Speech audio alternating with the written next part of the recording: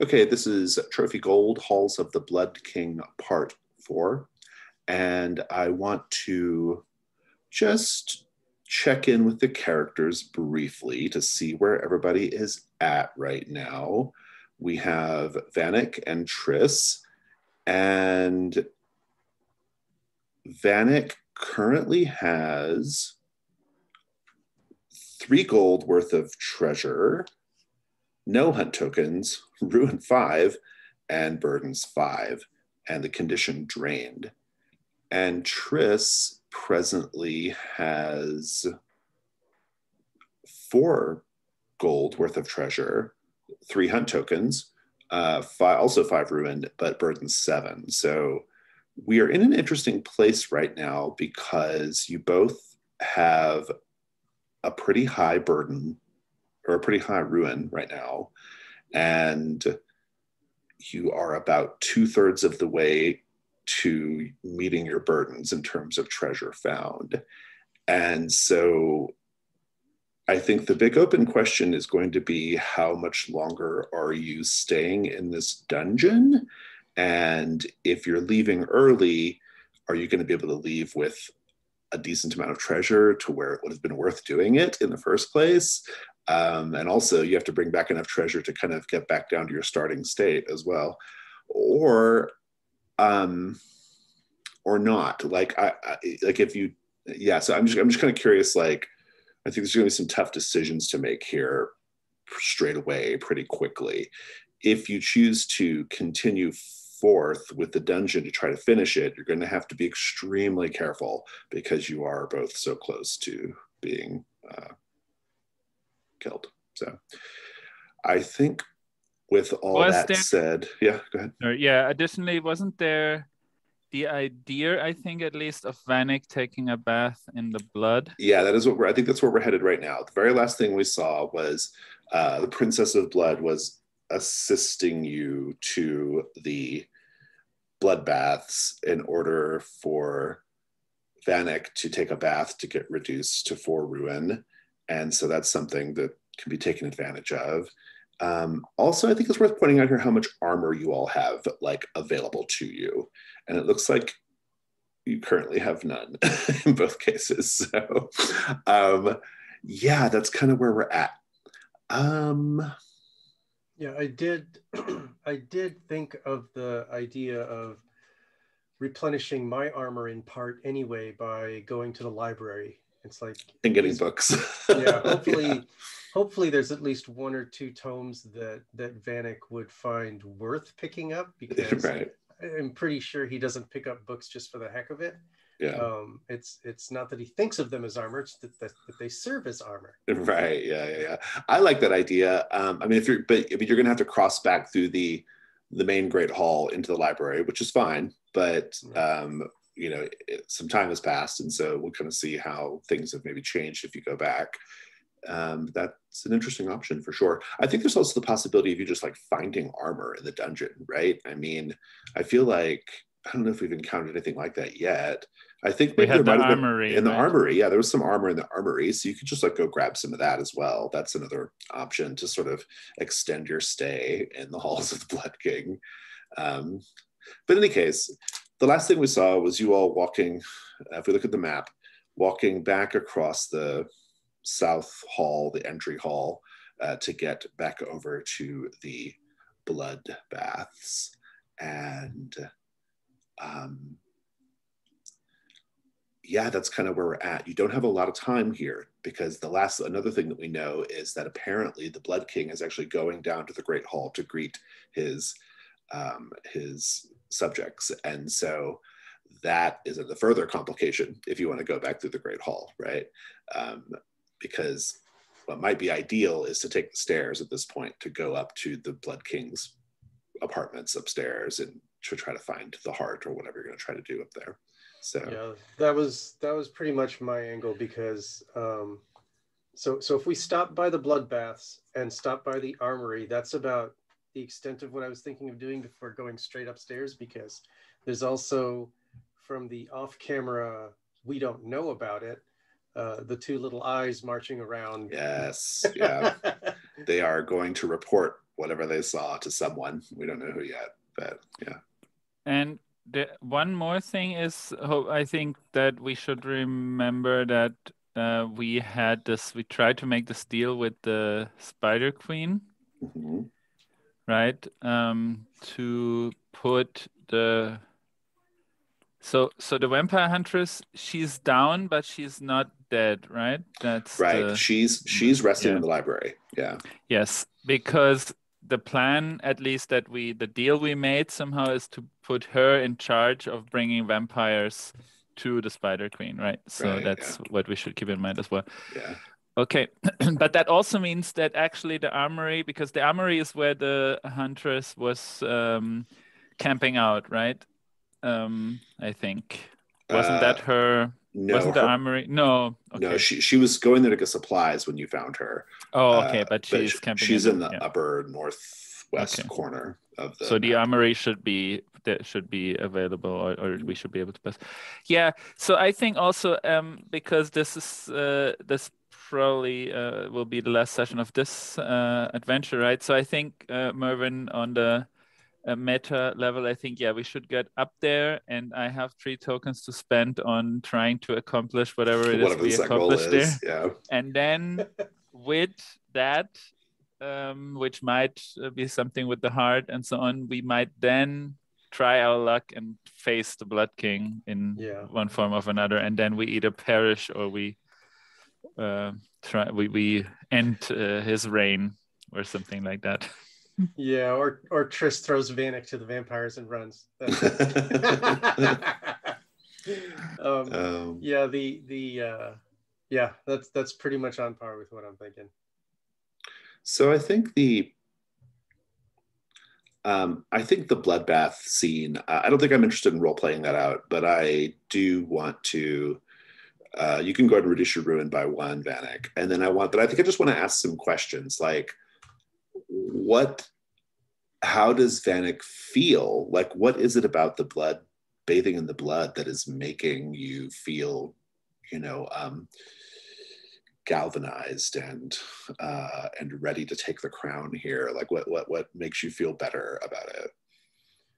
Um, from I'm I'm imagining Vanek being very conflicted about going into the blood because this is even though he's read that it's not dangerous, this blood came from living creatures. This is something monsters do, not him.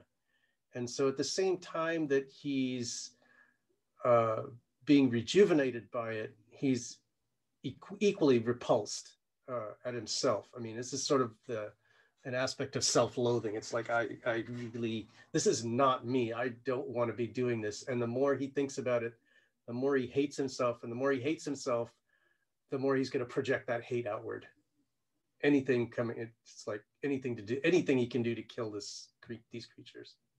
Um, and he's one of the things he's thinking is, if they run after him, he knows exactly where he's running to, and that's down to the Spider Queen. He'll make them chase him down there. Not the void fungus. Not the void fungus. The void fungus spreads uncontrollably. The Spider Queen, she knows what she's doing. The Spider Queen can be reasoned with, so I think that's important, probably, right? Yeah. Um, good. Okay. So I think we could just fast forward to the armory then, because it's right next door.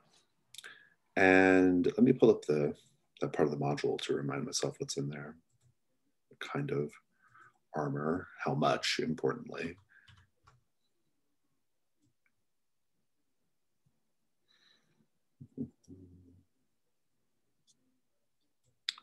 That is room. 21.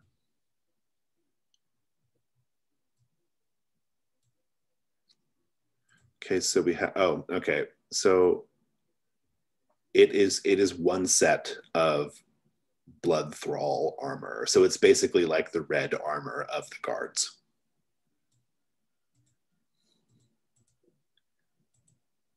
Is that uh, what you're taking? I think that's what Um, Triss is taking, if that's okay with Vanek. I'm not sure what so with the books that is not um happening right now, I guess. So happening maybe now. that's what we're doing before the uh, before the Great Hall and so on. Mm. Uh, this armor, because of its make and its style, uh, it's worth two gold to the right buyer. So um, that's one thing you can at the end if you want to try to sell it. So, are you putting it on? Yes. Okay. Interesting. Well, now we so look th- like we belong, which is good. yeah. You do. yeah. Well, and you have that cloak still, right? That uh, makes yes. people think that you're a vampire lord, right? So you actually are pretty well disguised at this point. I think as you step outside of the armory, you hear the clump, clump, clump, clump of the patrol, a pair of guards marching your direction from the north side, from the north hall. And they sort of turn the corner and they see you. And Tris, how do you respond?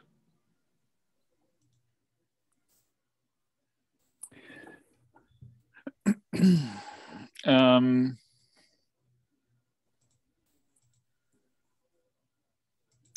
so I think um,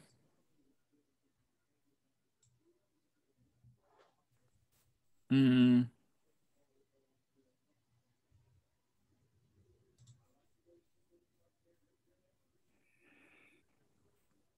I think Tris says um,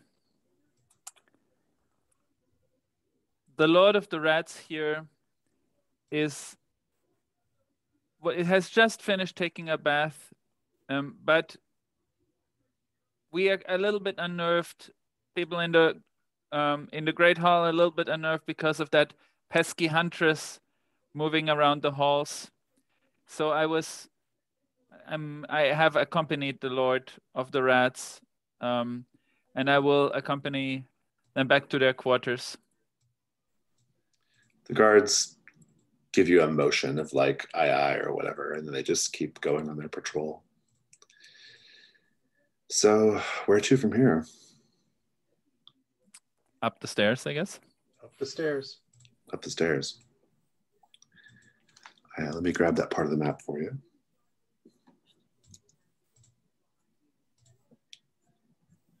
I believe that part of the map is available to be snipped. Uh, hmm, kind of, hold on.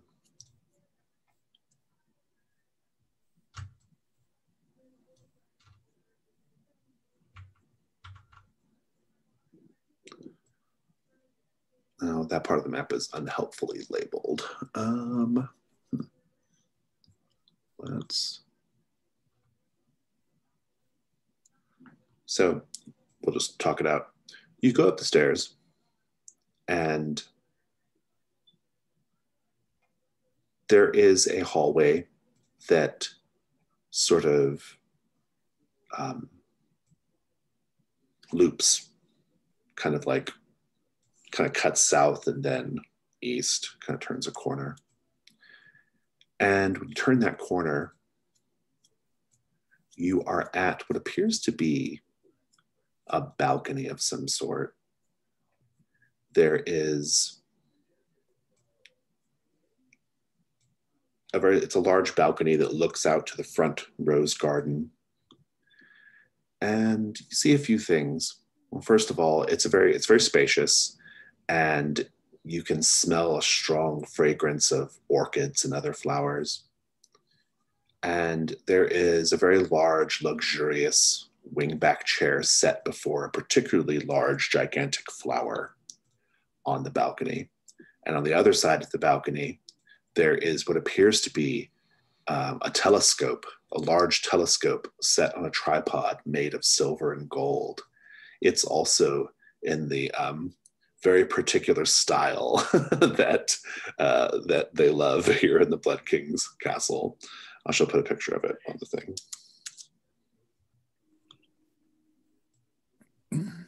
So there, is that all there's of a top floor, this balcony, no. or is no, no, no, no, no? Okay, uh, but that's all you can see from your vantage point. Yeah, sure, sure. Yeah, yeah. Mm-hmm. You'd have to go onto the balcony to sort of go to keep going, basically. Okay, yeah, yeah, okay, to see whether there's mm-hmm. uh, doors or anything. Okay. Yeah. Um, Hmm.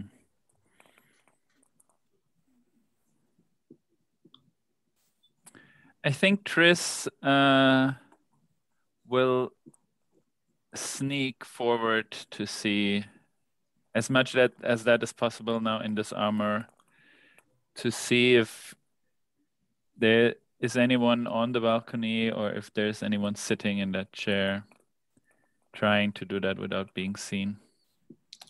Um it seems empty.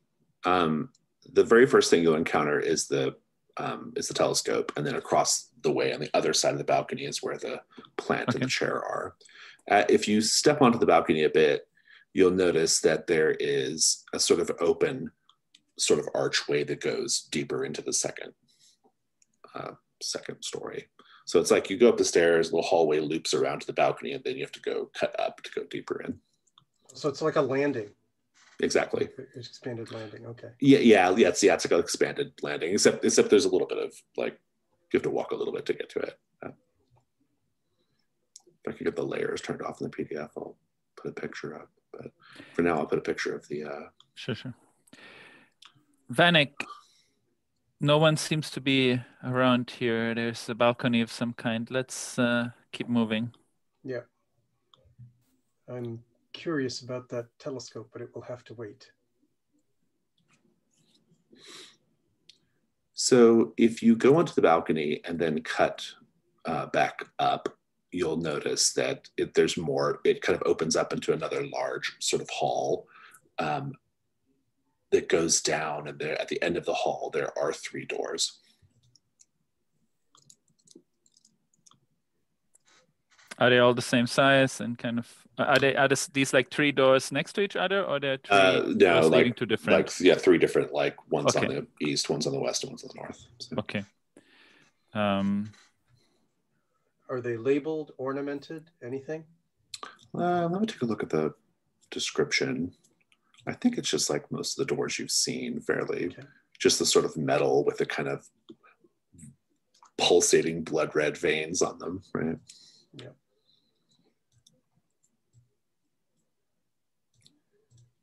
And so, what do you do?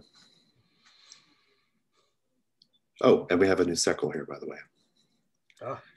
Set goal is find the Blood King's heart. um, remind me uh, um, about uh, spending three tokens. Is that something that we can do at any point? Mhm. Uh, even like if there if a combat is just beginning, can we still spend three tokens to accomplish the set goal? And if that I mean, it depends on the how does that work? It circumstances. depends on Yeah. the circumstances. yeah, yeah, because we still have to follow the fiction. So Sure, sure, I of mean, course. yeah. So, but so if you, depending on when you spend them, it'll happen. It just might you might have to deal with other things first. Sure, sure, course. sure. Okay. All right. Um, I think uh, Triss will sneak towards the northern door. Uh, Vanek will check out the eastern door, just listening. He's not planning to open it until Triss decides what to do. And you can, uh, Vanek, are you also examining the door and listening, or are you just going in? Van- Vanek's looking at the east door. Uh, the east door. Sorry, uh, Tris, are you also? Yeah, examining the door? trying to if there, of course, if I can hear anything behind there, or yeah. Um, both of you take hunt rolls.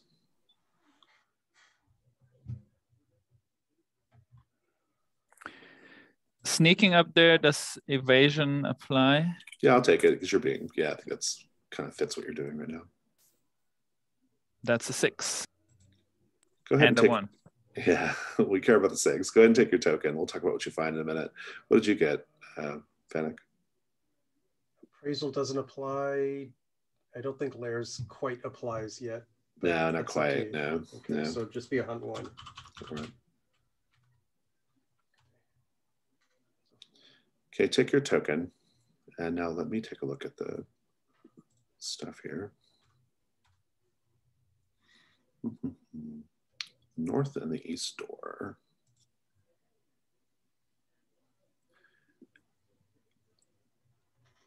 The north door.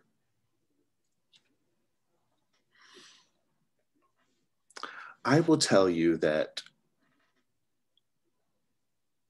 Tris, something about the north door indicates to you that it leads into the princess's chambers. What is about the door that's different from the other doors that makes you think that? Um, I think that mm, so if I remember correctly, the princess having taken that bloody bath, she might have she wanted to get ready for the feast or something. So there might be like a bloody handprint on the um, on the door, um, on the handle. That yeah. I love it. That's great. Uh, that's all I'm going to tell you for now. You don't otherwise hear anything.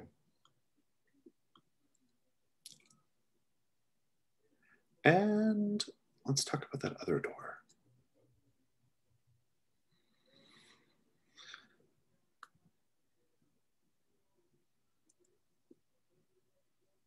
You don't hear anything at that door either, Vanek, but you will notice or you'll hear from behind you something squishing behind you.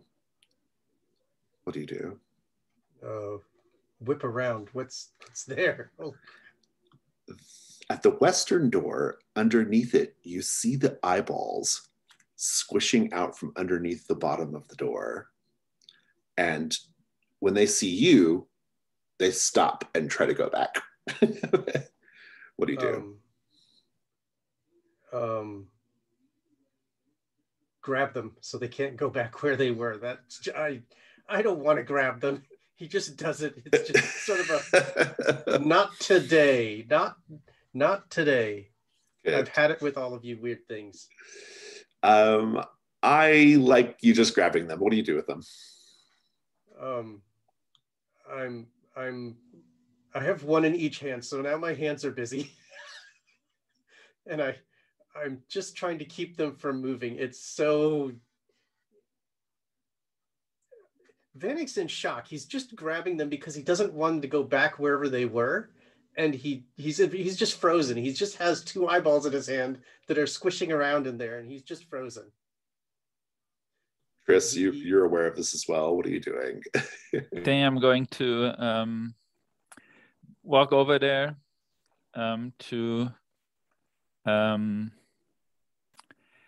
to Vanek, and I think I'm going to take the like basically just walk slowly up to him and pulling out this pot of tar and I take one of them from Vanek and I just drop it into the pot of tar and then take the second one from him and I also drop it into the pot of tar. That that takes a little bit of work because he's like got this he doesn't want to crush them, but he's got a death grip on him anyway. It's just like uh, got to pull one finger off at a time.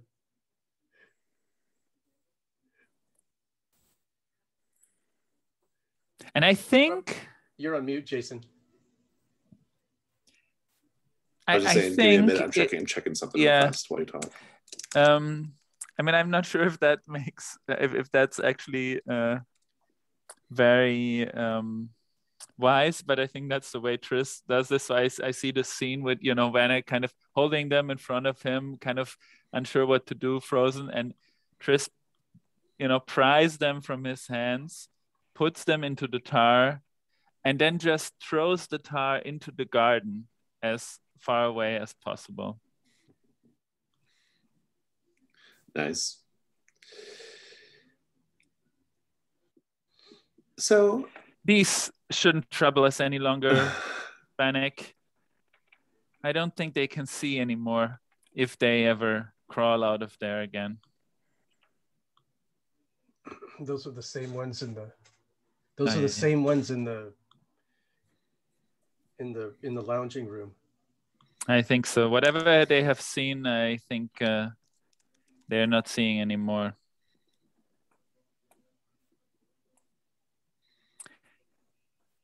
I think we should go wherever these came from. whoever they reported to, we should have a word with them. Hmm. They came from behind me. They not the east the the door I checked. I heard no sound. They came from behind me. Yeah, they came. They came from underneath the the third door, basically. It seems the door in the north leads us back to the princess. She's. Uh, I think we don't need to disturb her right now. So, let's take that third door. Okay. Um, Vanek will put a hand on the doorknob and open it. It opens, and let's see what you find. Uh, it opens up into a chamber that is, it's like a hall, similar to the Great Hall, but smaller in scale. It has red veined uh, a red veined marble floor and blood stained pillars lining it. And there are great murals painted all over the walls depicting the Blood King's conquests romantic conquests, coronations, battles against various alien species.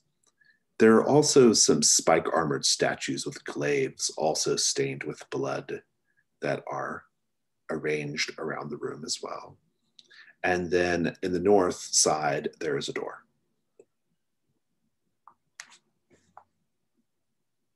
What do you do?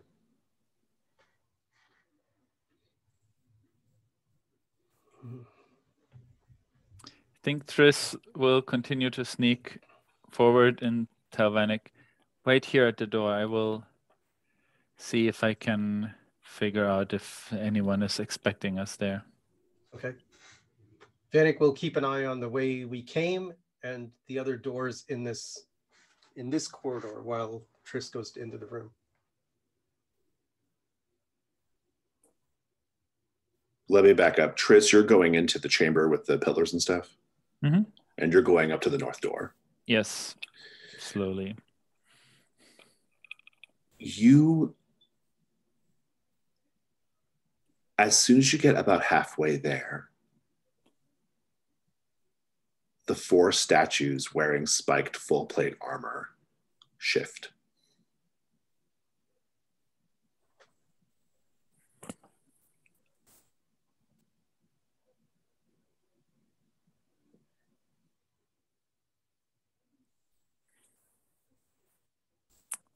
Um,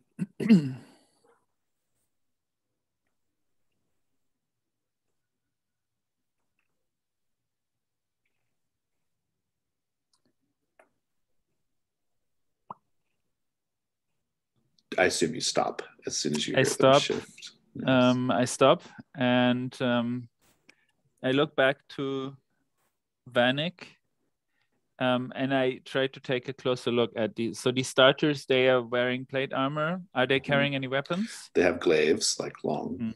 glaives. And as soon as you get about to the half, about halfway to the door, they just make like a. Each of them does like a slight, like, like just a little, Hmm. a little shift.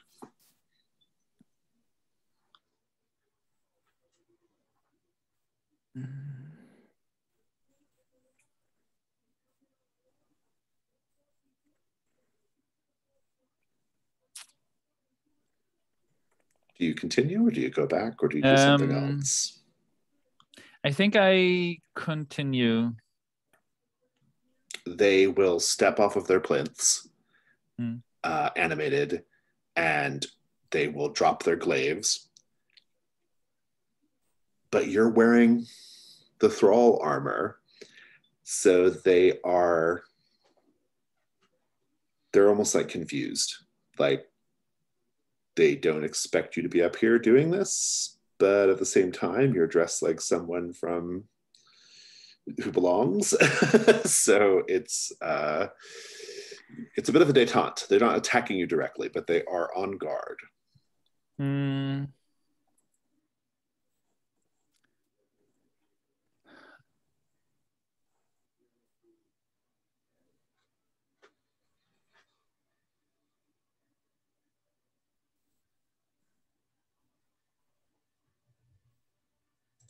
You'll notice this, Vanek. What are you doing right now? Um, I'm holding the door open for Tris in case he needs to run back out. And my back is to the open door so that I can continue to see the hallway as well as where he's going.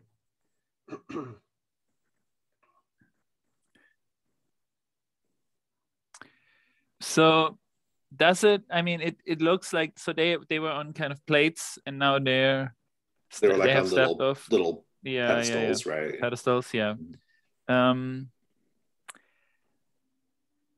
and basically so so they are on the side of the hallway right Mhm. um mm,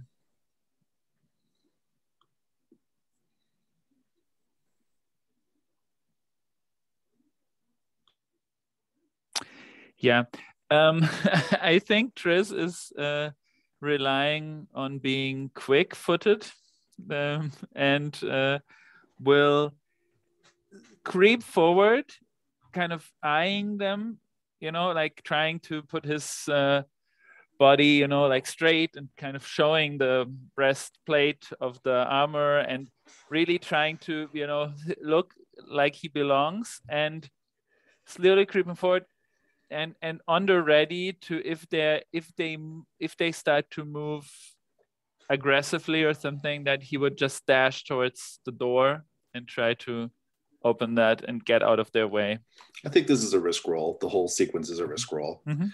Um, I don't need the dark die yet. I think because I think the penalty here is going to be you're going to have to combat them, right? And that's when dark dice will come into play. sure. What? Um, I mean, do you have any other thoughts about what could go wrong, Merwin? That I, I mean, I kind of know what's going to happen, but if you have anything better, any other better thoughts, I'm open to them. Um, um, things that could go wrong. Um, well, hopefully the Blood King's not here, so we'll skip past that.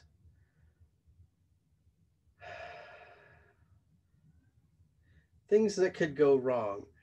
Somebody else has a plan similar to ours, and we're going to step on each other's toes. That's something that could go really wrong. Mhm. Interesting. We'll see. it's also a good devil's bargain Yeah, it is, it's a great devil's bargain. Uh, let's talk about your dice. So, uh, so i guess acrobatics, acrobatics, destruction, and evasion, evasion would all yeah. uh, apply absolutely, you got one light die. Let's talk about devil's bargains. Do you want to offer that as a devil's bargain, Merwin? The, uh, Um, devil's bargain. Uh, no matter what,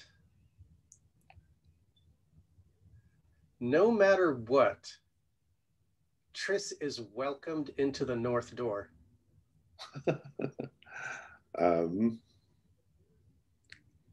the, implica- the implication being that it's not that's not necessarily a good thing. Um, I'm going to say that no matter what,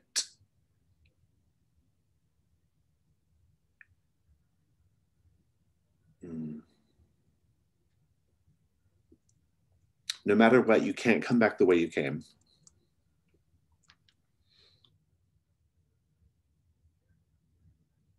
Oh, those are tough.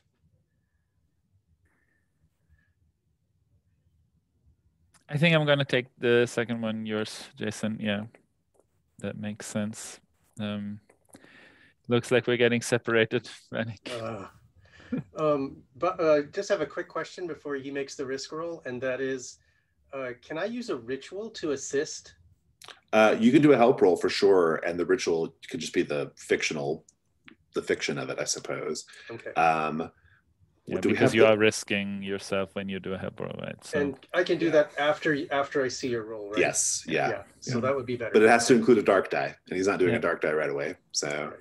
The um, text actually now I co- since I copied that last time now there's a reference sheet in the Yeah. keeper that has Yeah. the help roll text. Okay, let's go for risk two then. Five. the complication is going to be the main reason why you can't come back the way you came is the guards essentially form a phalanx around the door. If you're okay with that, Yeah, I think I'm okay with that, and I'm going. Like basically because that was the idea, kind of right. As soon as they move to kind of block, I would dash towards the door and open it and try to get inside there. Yeah, yeah. Well, I think it's not even just that. I don't. I don't even know if it's like that they suspect you of being that you don't Okay. belong, but it's more like if you need to be let back out, the Blood King will say so, right? And so, um, but the problem, by by the way I've set it up, is Vanek can't really follow, right? Sure. So, Right. yeah. I'll be back, Vanek. Keep your cool around here. All right. you go inside and we'll talk about what you see in a moment but the the guards yeah they just form like a like a like a wall by the door standing sentry um, in case something's going on in there in case they need to stop you from coming out or whatever right so i'm gonna pick up with vanek though vanek what are you doing in the meantime um, Vanek takes a deep breath, and it it it shakes. Uh, it shakes in his chest. It's not stable by any means, and he'll let the door fall closed because there's no way he can follow past four guards. And whatever whatever cleverness Triss has up his sleeve, it's got to work for him. Um, he's gonna open the door across the way, the east door. the east door this is like a studio there are canvases everywhere um, hanging on the walls and ceiling and also the ceiling they're stacked atop one another. A lot of red paint uh, many paintings of alien landscapes. There are a number of finished pieces which are some very bizarre landscapes that are arranged around the room. And on the opposite side of this studio there is another door Um, continue through. If you go to the other door, it opens up into a large semicircular room that is an observatorium. The ceilings are high and arched, and they're painted like the night sky. And in the middle of the room is a large planetary system model made of precious gems and gold wires. And there's a large lamp in the center that appears to uh, represent a very important central star. And next to the model, there is a pedestal with a large leather bound tome atop it.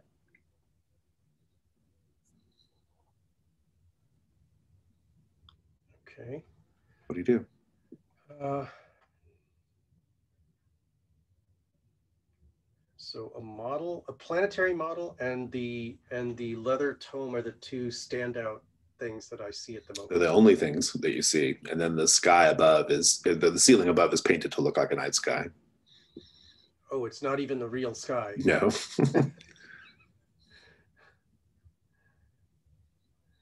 Vanek's shoulders fall when he realizes he can't even see the real sky.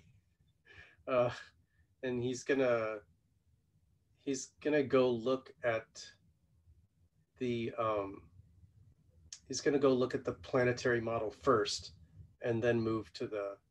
This is not something he understands at all. It's just he's looking for something that would be a heart, and a book doesn't seem a book seems less like a heart than something larger and more convoluted. Uh, take a hunt roll.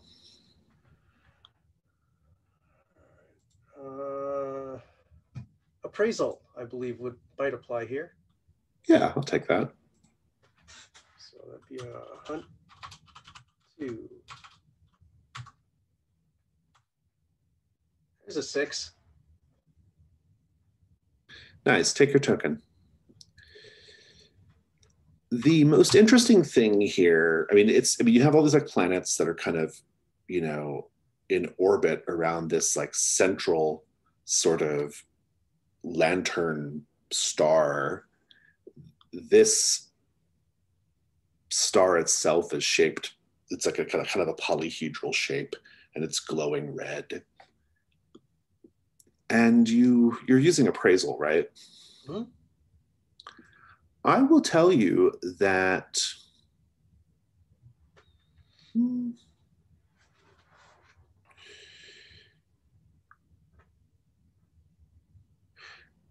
if you could find a way to take this thing apart and take it out of here, it'd be worth a lot of money, probably five gold. Wow. Okay.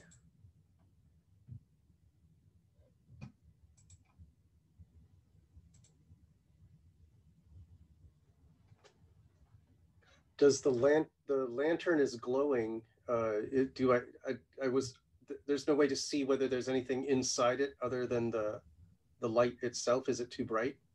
Take another hunt roll, but I don't think appraisal's on the table here. Okay. Um, see, is there anything else? I, I don't think layers is quite here.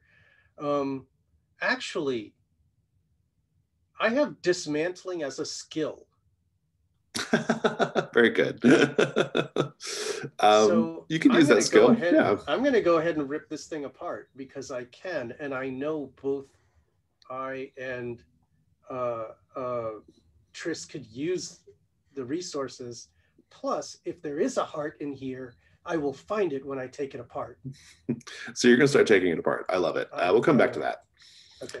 Um, I might give you a roll for it, but we'll come back to it in a minute. Okay. Tris, in the meantime, you step inside these chambers. And this is another one of those spaces where it's much larger on the inside than it seems like it should be, uh, based off what you know of the castle. It is, um, there are pillows and veils and luxuriously decorated tapestries all over. There are numerous people, about 10 people of many cultures and species and planets, possibly. And they are all sort of just lounging about they don't even really seem to notice you too much. They seem very like kind of caught up in each other and just their own whatever they're doing as they lounge about. It's almost like an opium den, you know, they're a little distracted.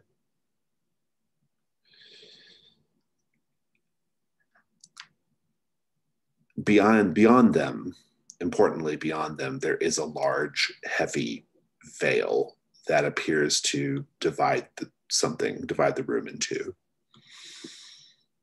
So, what do you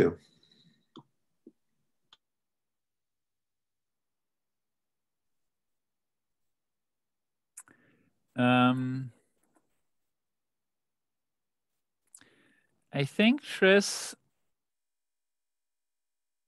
um stand moves to like a corner where he's not where he might be not really um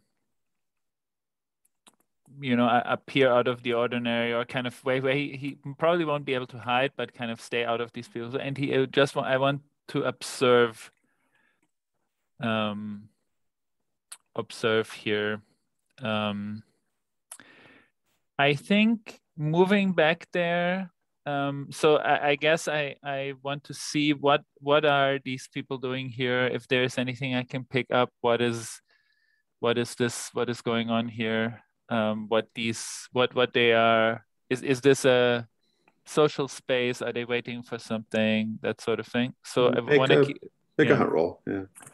Um, but before I do that, I want to moving back there. uh, Maybe I, I want to spend a token to maybe find something there. Hmm. Um, You will find set on the ground in the corner of the room, unattended to, what appears to be a trio of jade statues depicting some tentacled alien god. Collectively, the three statues are worth one gold.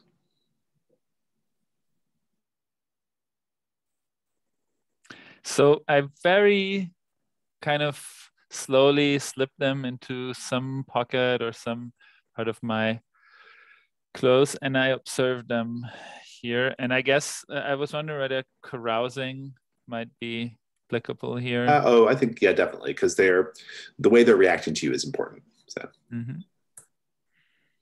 A five. Take your token. The thing about this space is they are sort of not reacting to you because you look like a guard. You can tell that if you were presenting yourself as Triss, they would be more interested in you and might engage you more. So they basically ignoring me kind of because I'm not an interesting they think know, you're just, social yeah, yeah just a yeah. guy working there. Um, so what is so the, the veil is so basically there's the door behind me and then there's a veil. Um, yeah, a veil that yeah. bisects the room. Yeah.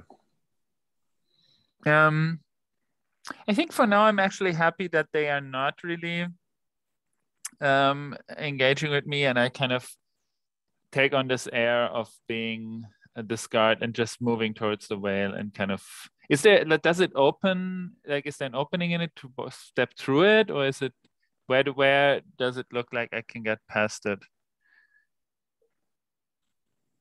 You can just open it up and go through. I will do so.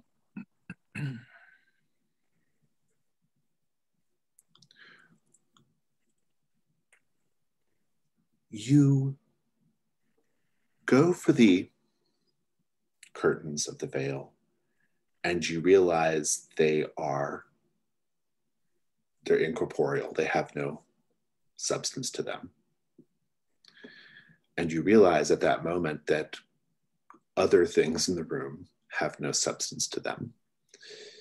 Your hand just sort of passes through, say, a little a little pillar over here or whatever. What do you do?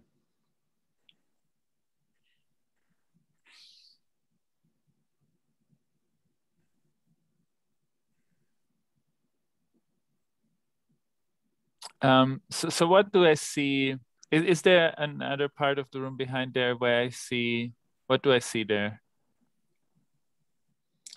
Um, that's the thing. Take another hunt roll. Okay.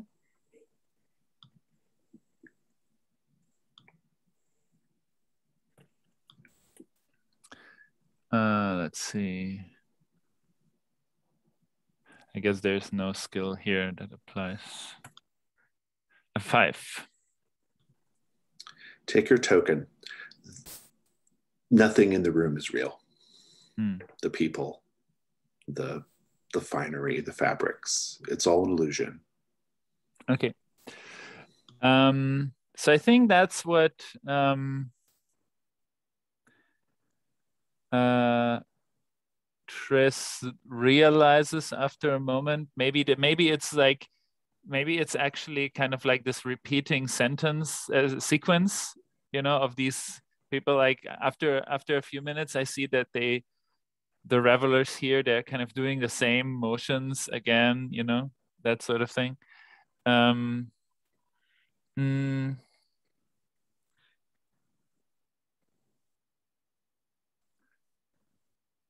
i wonder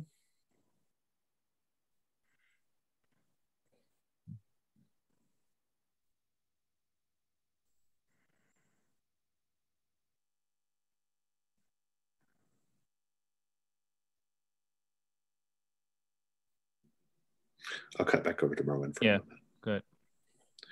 Vanek, you are going to try to disassemble the planetary model, yes? Yes. I like it. Um, while you're doing that, you hear something crawling on the ceiling, a skittering above you. What do you do? Um, I set aside whatever delicate machination I'm in the middle of and, and glance upward. You glance up to see a long, prehensile tongue dangling down, stretching toward you, gently lapping at your cheek and lip. Sarku is above you, watching you.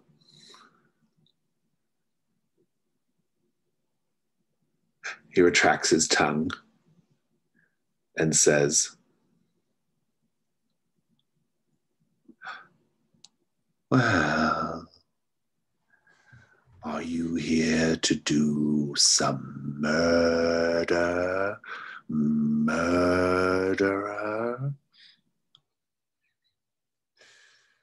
Let's take a five minute break.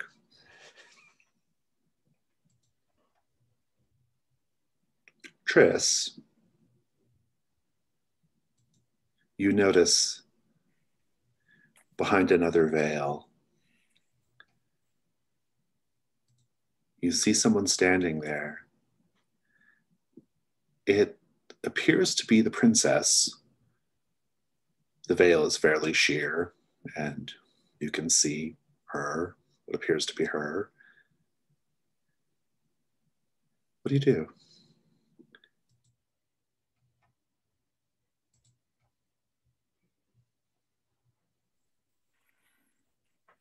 Mm.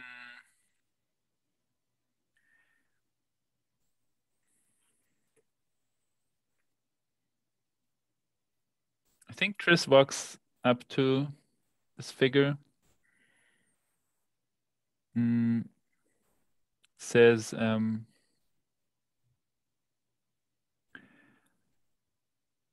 this here seems to be but a faint version of the kind of festivities that I'm used to. Did I not find myself in the right spot to for where I was invited to a feast?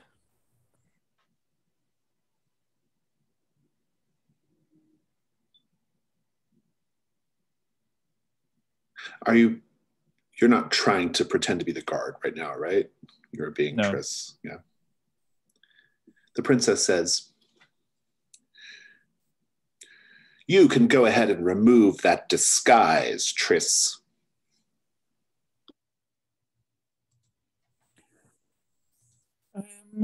I I too am more accustomed to the finer things in life. She steps beyond the veil. In my day, I was the talk of the court. I was a star.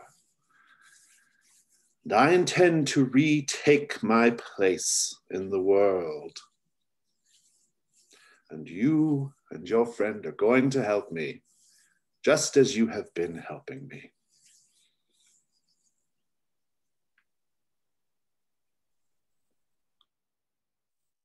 well, I am spoken for by another lady. Oh, by me? And the princess suddenly appears to be Simone. I was just about to call on you. I seem to have found myself in some form of illusionary festivities. Let's get out of here and find the Blood King's heart. I would like to spend three tokens also at this point, but Spend the tokens.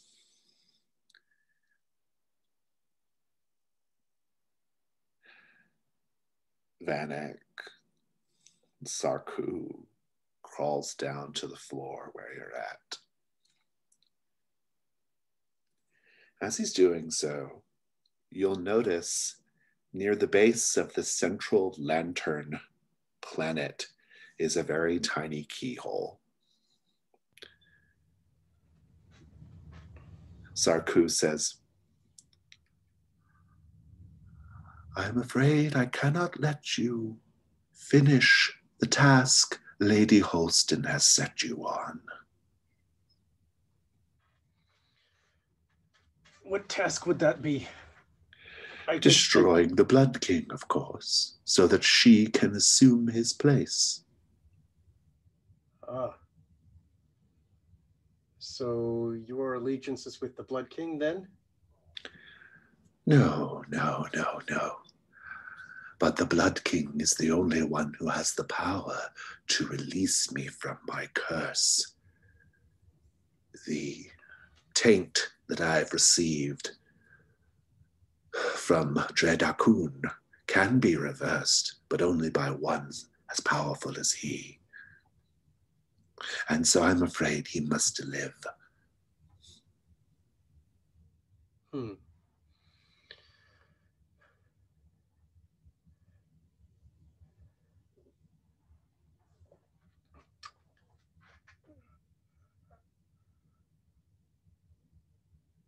He doesn't seem to be particularly threatening at the moment. No, but he has his eye on that central glowing lantern as well. Uh. Which you have noticed there's a tiny keyhole near the base. Yes. Out of character, that's the answer to the the, yeah. the set goal. Yes. Um, unfortunately, I don't believe I have a key for this. Um,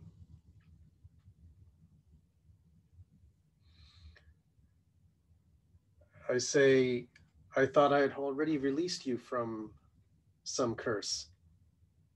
Which is again, I am puzzled that you're calling me a murderer when all I have done is help you. Well, when one cavorts with murderers, it's difficult to tell you apart sometime. But you have murder on your heart, do you not?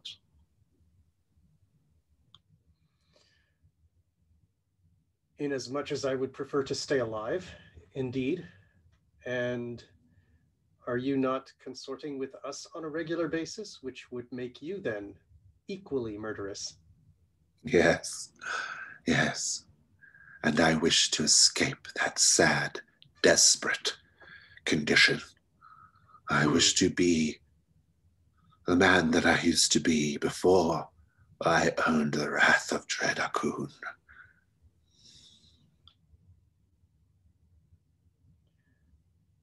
I helped you before, I will help you again if you help me first. Well, what do you need from Sarku?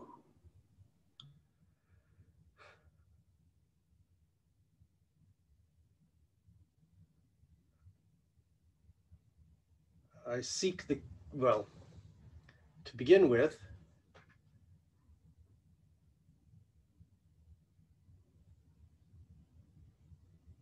what sway have you with the powers within this castle? sadly, Sarku has very little sway, mm. but I have seen things. I know that you are being deceived by the Blood Princess. and you specifically are being deceived by your companion. How do you know this? And how is the princess deceiving us? Because the princess is Lady Holston. And your friend is in league with Lady Holston.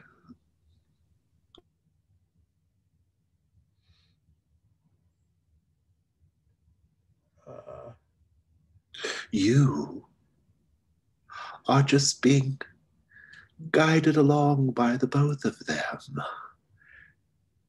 in their efforts to overthrow the Blood King, a puppet, a pawn. Mm-hmm. Vanek probably drops whatever he was working on and then fumbles to pick it back up. They are no doubt, even now at this moment, having a laugh at your expense. I thought the Lady Holston was dead. What proof have you? Oh, no, no, no. There's no destroying her, I'm afraid.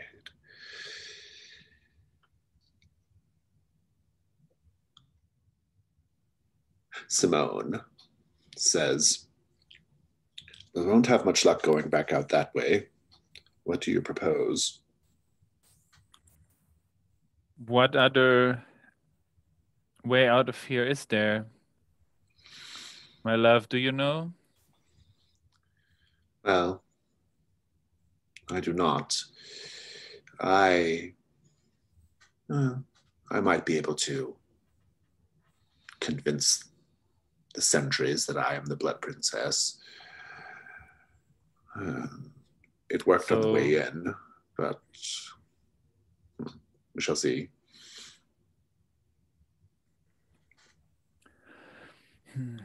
I guess um, mm, I might uh, get back back into my role as your um, royal guard then. Yes.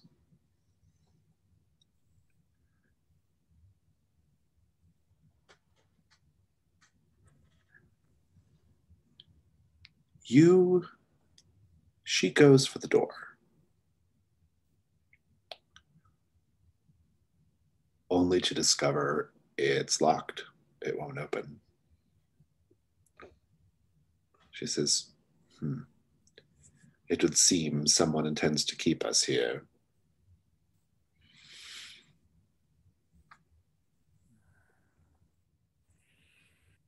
Hmm.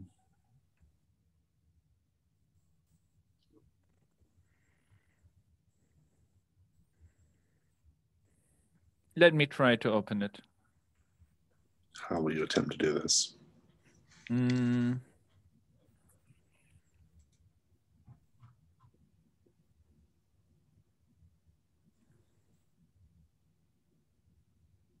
I think I'll take the Union Jack pin that I have and try to use the pin kind of, you know, As a lockpick. Fiddle with the lock. You'll be fiddling with that for a minute. Back to Sarku and Vanek. So, what's your offer to Sarku, Vanek? um,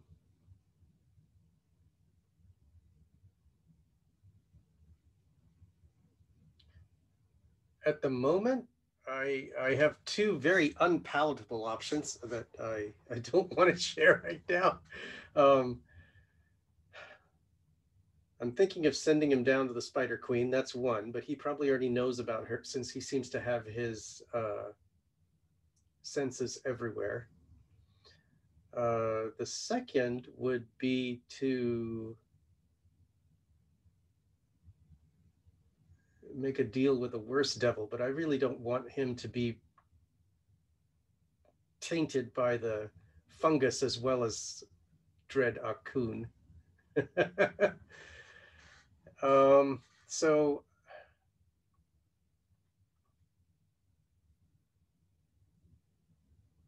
my offer is that I will I, I will say to Sarku,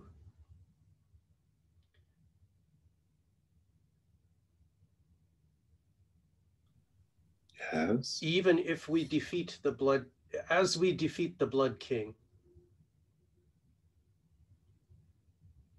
i am not interested in giving this castle over to the likes of lady holston if holston if she is still alive i will do i will do everything in my power to release you from your curse help me find the key to this lantern and recover Triss. I don't know where he is. He went in the room across the way.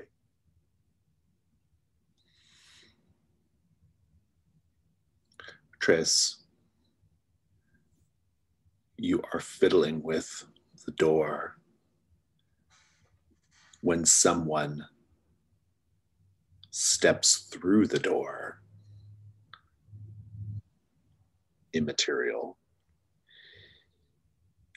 And Simone is shocked. Your, Your Majesty, I, I didn't expect you to, to be up here right now. You will see that the Blood King has materialized into the room and is facing Simone. What are you doing right now? Um,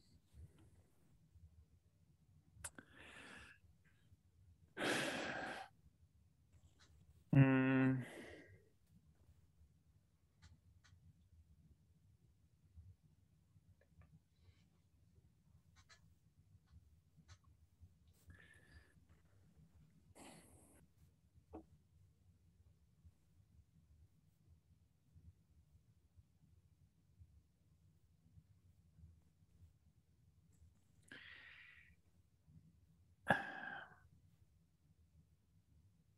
so but but he so he immaterially stepped through the door but while i was fiddling with the door the door through you. Yeah. yeah but the door was basically still the door is a um material door Yeah, right, yeah, yeah, yeah, opposed yeah. to all the other Yeah. Yeah. so i cannot just also uh, Yeah. No. No. step through it okay um mm,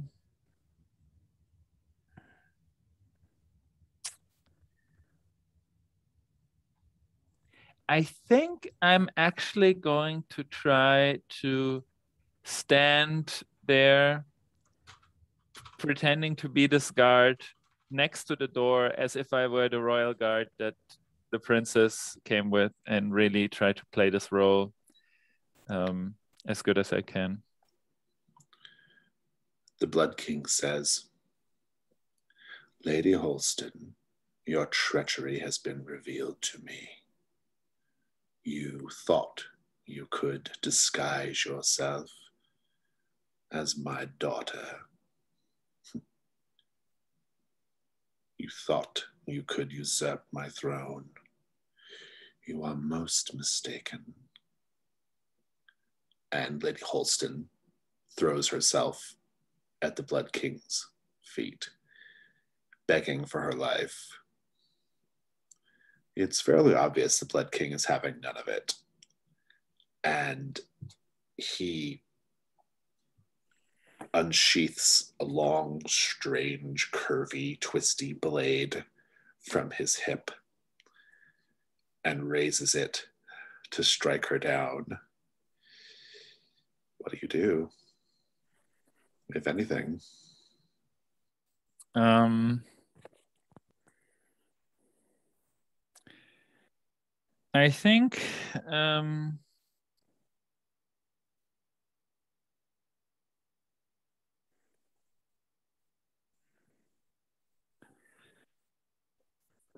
I think I'm going to um,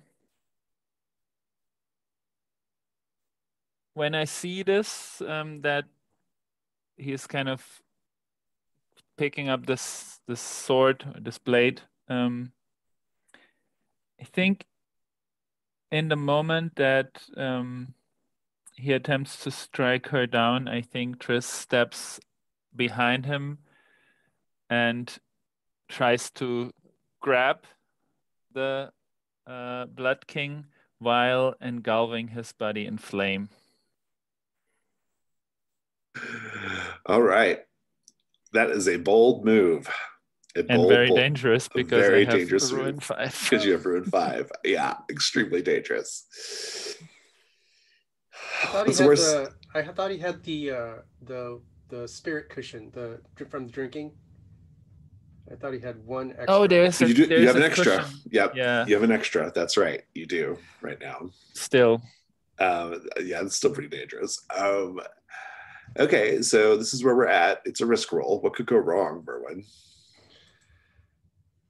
Oh man, it's more about what could go right. Can he please immolate both them, both of them? That's a possibility, sure. Um, I think it could be as quite as simple as doesn't work and you have to combat the Blood King.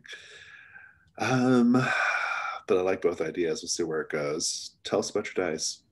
So the idea is basically, I mean, I don't think this will kill the Blood King or anything. I think that this will. I want to give um, Lady Holston kind of either time to get away or even to get some sort of uh, over like get get the hand over the the advantage over the blood king yeah for a moment yeah so not so yeah so the, yeah that, that sounds like a good reasonable goal.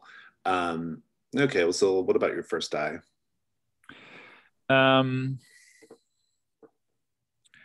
well i guess um distraction to distract the blood king from this execution and acrobatics for being yeah, quick I like enough distraction. to get. I like distraction. Yeah. Here's um, my devil's bargain. The devil's bargain is no matter what, the Blood King has the little key on him and it's melted in the fire.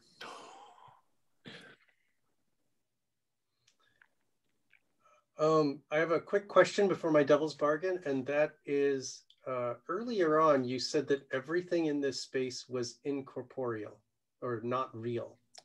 Yeah, well, not everything, but most of it okay. is an illusion. Yeah. So, so apparently, the Lady Holston is is not an illusion, and the not. blood and the Blood King walking through the door. We don't have a guarantee that he is corporeal yet. He hasn't Not done anything yet. Yeah. Um, so no matter, and this is going to be a really weird one. No matter what, the Blood King is an illusion. Intriguing. What do you think, Adrian?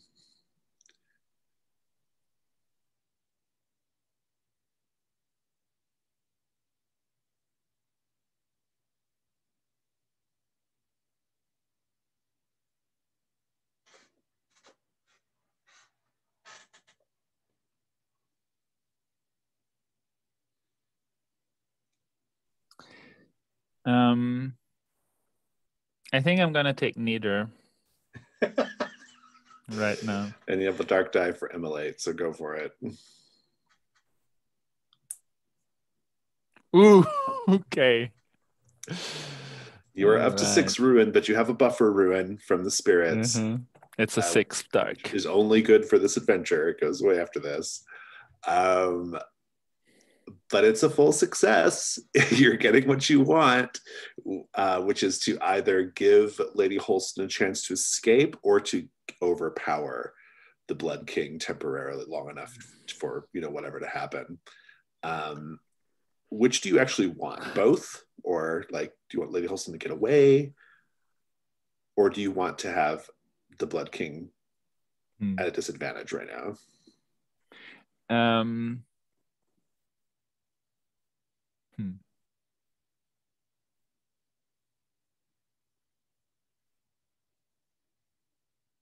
I think um,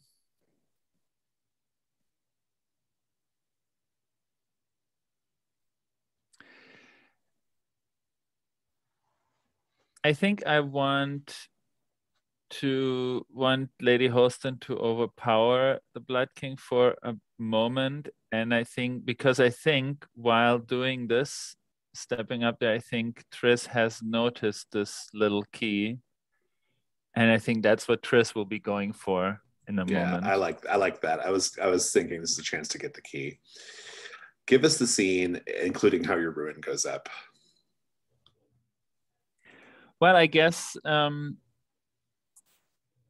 I what I have to do is basically uh, um, I really step up there and whatever. I mean, I'm not sure, you know, what kind of corporality the Blood King has, but it's definitely powerful. So, um, in order for this to work, I think Triss actually has to kind of really grab that figure from behind and then start the fire. And so, in this split second where he just grabs it, I think all his arms get burned up or or at least you know whatever it is that the like like hot kings, metal fuses to yeah, your skin or something. Something. Yeah, yeah. Um, and but I do that and scream, and I think that gives Lady Holston a moment to because she was so scared of the Blood King in his full control, right? But now that he really is kind of also maybe Triss and the Blood King both are kind of screaming or, or at least um, reacting to this, and so she might now um, try at least for a moment to get the upper hand. Yeah, and I think basically you'll see the key. You can grab the key if you wish. Um, and I think essentially what she does is she just sort of, um, I think she just kind of like grabs him and hurls him across the other side of, or hurls him to the door and kind of like smashes through the guards so that you all can get the hell out of there. And I think you'll pretty quickly run into Triss and, or Vanek and Sarku um, because they're just right there. Uh, Vanek and Sarku, you'll hear the, or Vanek, you'll hear the chaos going on in the Great Hall. What do you do? Um, he's Vanek's going to scramble to get the rest rest of this thing uh, put away so he can carry it out the observatorium. I mean, um, I think you were interrupted by Sarku, and I think we have this chaotic situation. If you want to just grab the central star, I think that might be the best you can okay. manage right now. Yep, let's do that. Okay. Um, you have the, the central star. That's the, the central star. Um, and uh, uh, take a peek out because this observatorium is actually, if I remember right, it's uh, there's a studio between me and the outer door. Correct. Yes. Um, so I'm gonna uh, grab the the the glowing central star and um, go to that doorway so I can look through the next doorway and see what's going on in the hall. Yeah, and I think you'll just see you'll see Simone and you'll see Simone and Triss bursting from the Great Hall into the sort of central hall. Okay. So this is the uh, and help me out here for just a second.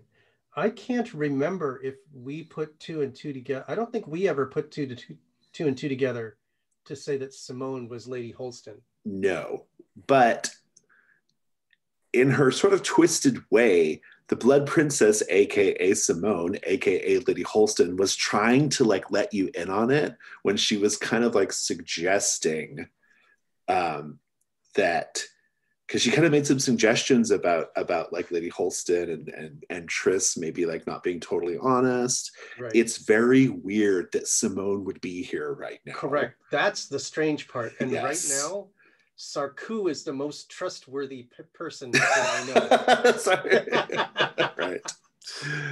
Um, so this is just everything is topsy turvy in Vanek's head right now. So Triss, what do you do when you see Vanek and Sarku come out of the of the studio? Vanek, quick! We we have to get away from here. The Blood King. It's we were only able to barely escape. Simone, upon seeing Sarku, flies at him and Sarku flies back at her, and they are now fighting in the middle of the hall, tearing at each other. Um, what do the two of you do? Um, do we see going... the? Sorry, good. No, no, go ahead. Go ahead, Adrian. Just about to ask: Do we see the Blood King anywhere, or did he disappear after being? The Blood King is probably still like getting his bearings, but you don't have a lot okay. of time here. Okay. Uh, I I yell out, I need a I found I found something, but I don't know what's I, I think we I found what we were looking for, but I need a key. I, I can't get into this last I have the key. Let's go down. It's like just like a bad movie. Let's okay. let's let's these two will keep fighting. This so you just leave the two fight. of them up there as they're tearing each other apart. Okay. These creatures are made from a different stuff than we are, Vanek. Let's okay. get down. All right. Vanek will dodge the combat above him and to the side. Hopefully, it's in the middle of the room. I can get around them um, and get out to where Triss is. and I, in the back of his head, he's going, "We'll have words later." Let's get to the huntress. She will know what to do. Okay. Um, on the way down, I say, grab the grab the telescope. We need everything we can get out of here before we go. you can definitely grab the telescope. okay. Uh, the telescope's worth three gold, so yeah.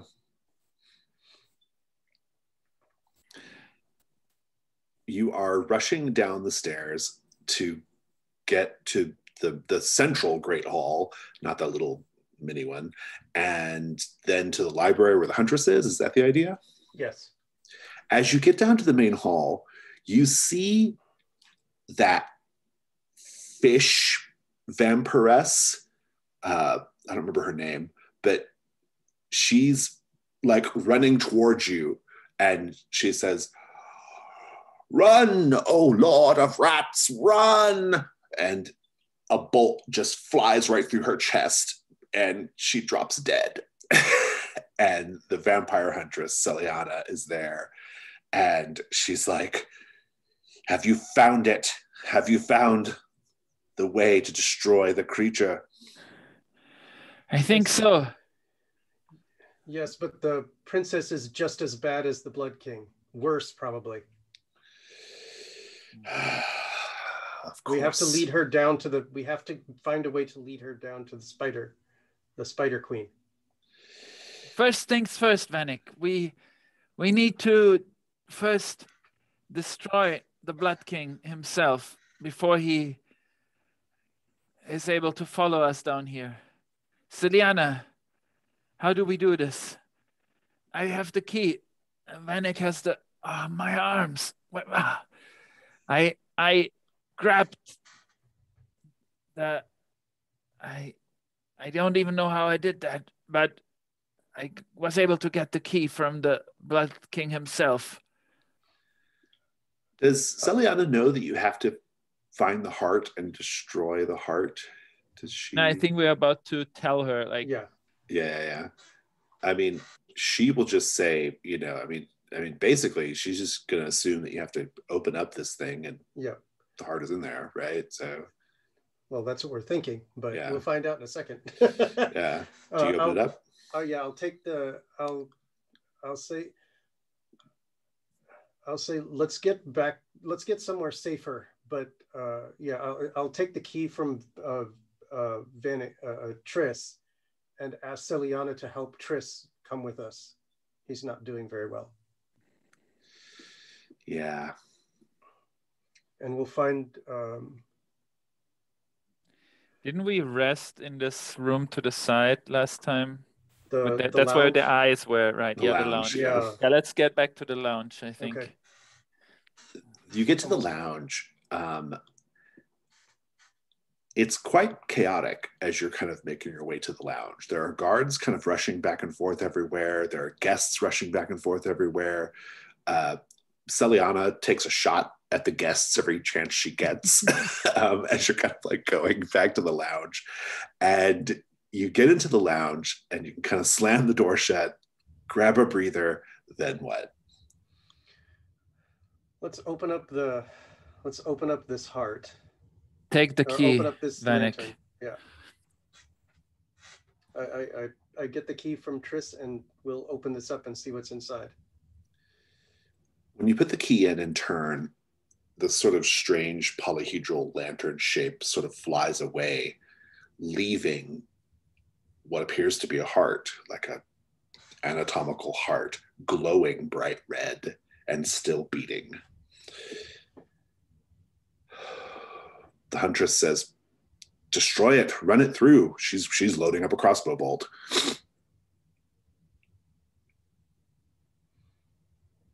Um, I think, yeah. Should I take my silver dagger? I mean, that worked on the British vampire. um, I- is- okay, okay. I think that's so. I think that's Triss pulls the silver dagger, and then attempts to stab the heart. You plunge the silver dagger into the heart, and as soon as you do, the whole fucking castle rumbles and shakes. It's shaking it's coming apart. Celiana says, ah, So it seems we may meet our end in this place after all. But at least we destroyed the Blood King, and so our deaths will have been worth it. And she not- puts she puts her arms around you and says, Brothers, we are dying for a glorious, worthy cause. We're not dying. Grab- Not yet. Pick up Triss's other side. I'll get I'll get his I'll get his right. Get his get on his left and help me carry him out. So you are going out of the lounge and it's the place is collapsing. You see you see Lady Holston crawling or Simone crawling down the stairs and she's crying out, Get me to the throne! Get me to the throne, and I shall restore this place. Hurry before it's too late. But Sarku grabs her and pulls her back into the stairway. What do you do?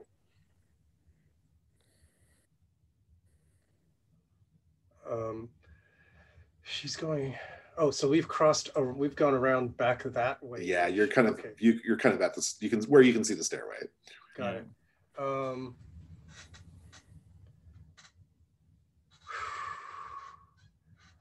how do we get? Is so this place is falling apart. Is it Yes. just? Is it sort of? Is is it remaining physical, or does part do parts of No, it seem like it's it's masonry is collapsing and crashing to the ground right now. Okay, all right. Um, Great big gouts of blood in the walls are spraying everywhere, like ruptured pipes. All right. Um, I say take him out. Take take him out. Take out. Take get Triss out. And I will lag behind. I don't want either one of these creatures making it to any place that's going to give them to give them more power. And Vanek's super concerned about the fungus thing down on the floor in the basement too. So, um, oh crap the throne. Vanek's gonna run back to the throne. You're running to the throne. I'm running to the throne full speed. you can get there, no problem. Uh, Okay. Then what?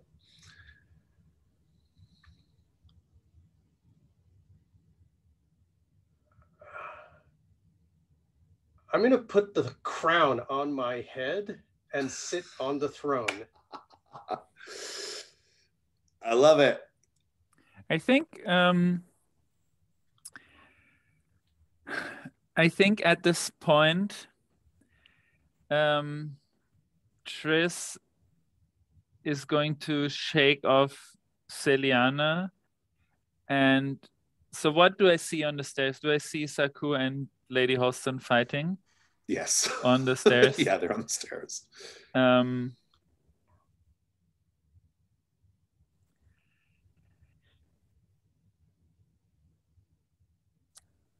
I think Triss says, um, I don't think you'll be able to to get there in time. My love, we have to get out here. And I think Triss will um, let's see. Um,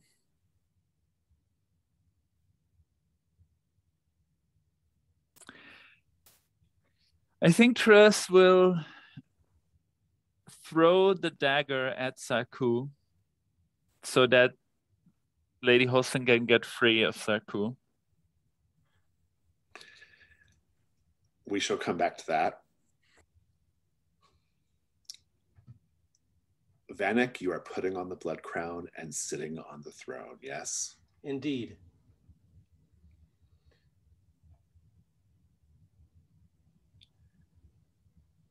I want to think a minute about where this is going to go, but I love it. It's a great idea.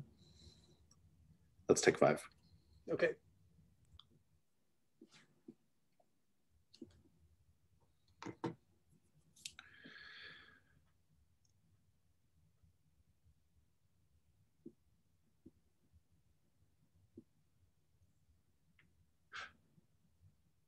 The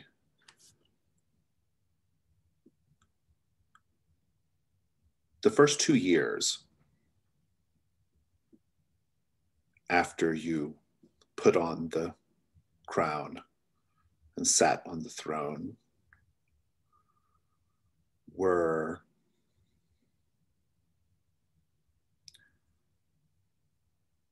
somewhat aimless. The remains of the Blood King's castle floated through space. You learned how to control it. You learned how to move it through space. And you were even able to manage to reach other worlds. And those of you that were left in the castle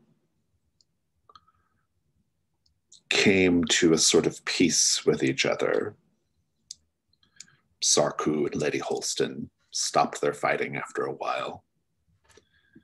Some of the denizens, the vampiric denizens that were there, even got on board with things. The ones that didn't just keep to themselves. You keep a regular watch on the void fungus and the spider queen to make sure they don't get out of control. You even have had the opportunity to engage in some diplomatic efforts with the spider queen and the fungus from time to time. You have a little peace going on as you navigate the remains of the castle, this vessel, through space. Vanek. In the third year, you found the drift. The drift is a floating rock city with a bubble of oxygen. That is a home, a base, a station for spacefarers like you, adventurers who were no longer content to plumb the depths of their worlds and instead looked upwards. And they fly to the drift in their magic powered ships. And they trade and they share rumors with one another, form alliances, have wars, all the sorts of things you might expect. You occasionally set the hulls down on the drift whenever you find it because it moves. And there you're able to leave the halls and conduct the business that you need to conduct before you have to get back so that the residents of your craft don't tear each other apart or the fungus doesn't get free, or the Spider Queen doesn't try to expand her realm or impregnate people or whatever she's up to. Simone has managed to start her business back up in the drift.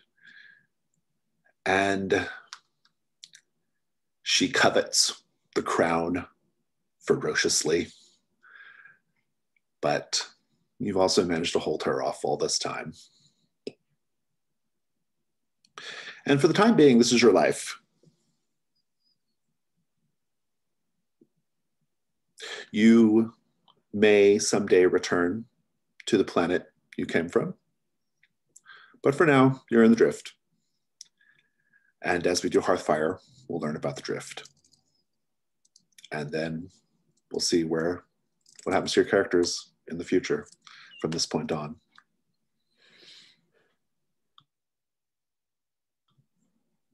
And so you don't need to spend any gold to get back to your starting uh, ruin. Uh, you can go back to your starting ruin, no problem. You'll have had time to do that. You can spend your gold on any other Hearthfire activity you wish. Um, and if you want to use your home, I just want to know what that means to you now in this new context. And so, with all that said, let's do Hearthfire.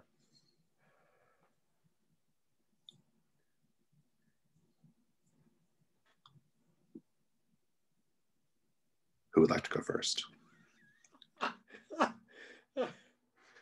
oh. Sorry, Adrian. Oh my goodness. I guess uh, Triss probably has spent uh, most of this time uh, in the princess's quarters um, on the upper floor. Um, there is still this illusionary party maybe going on, and uh, I don't think he has minded so much that um, Vanek has taken on basically all the logistical and administrative duties while he keeps, you know, making music, maybe uh, dancing, spending time with Simone.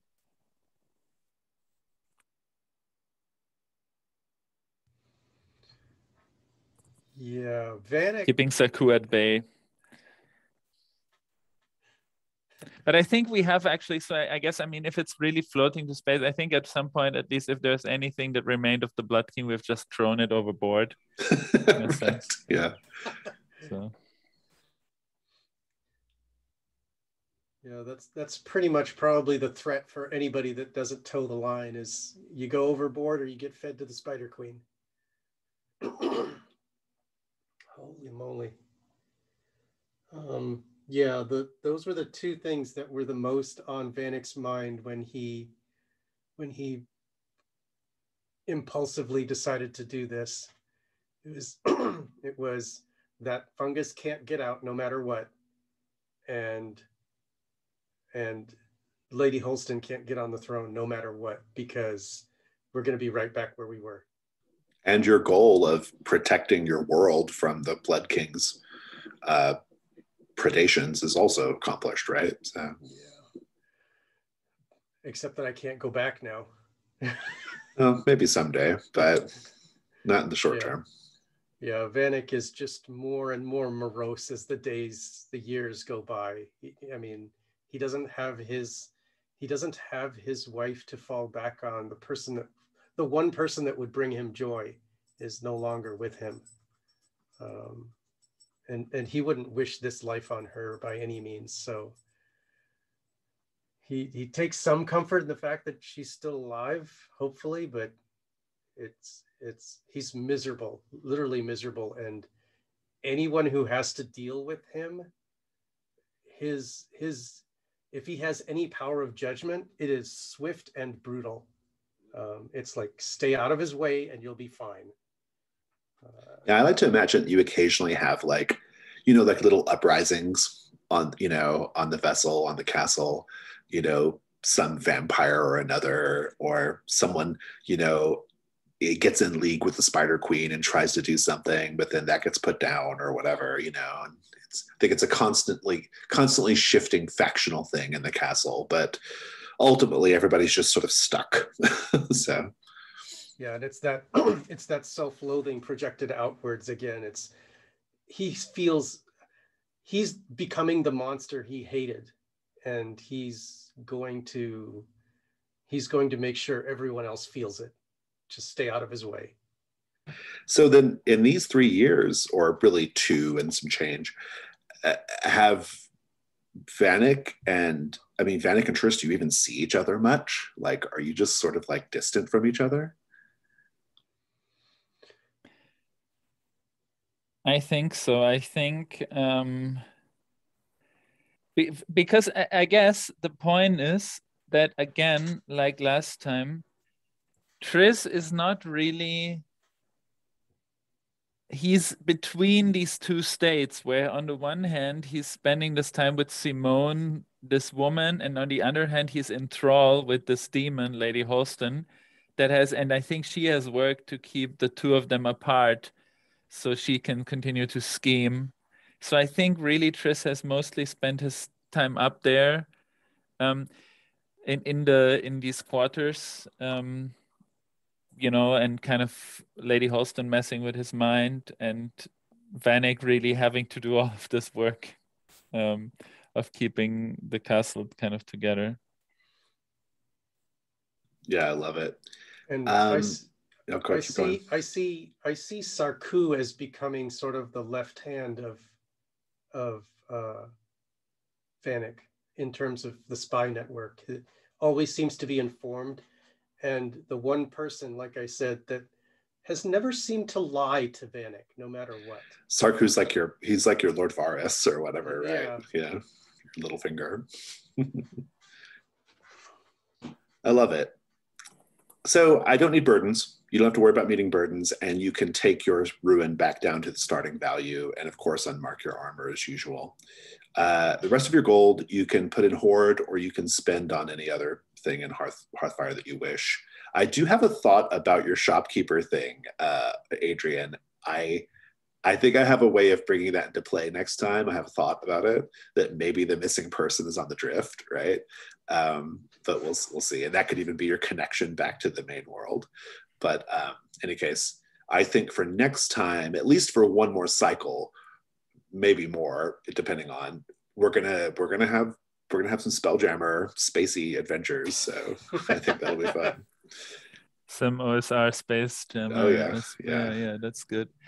Um, is the drift? Um, I mean, uh, when we land there, is that a place in a sense? So could there be a tavern in space? yeah there's yeah yeah there's like Okay, yeah there's yeah. there's pubs there's shops there's it's Okay, like it's a, it's a little little city for people who are like going off exploring the the wilds wild space so as they call it and so yeah it's just like a town but it's on this rock and above you is the black inky void of space and it's always moving so you kind of just have to run into it basically some people have probably perfected like tracking its movements, but you haven't done that yet. you just get lucky sometimes. So So I think the first Hearthfire that I'm going to do is um,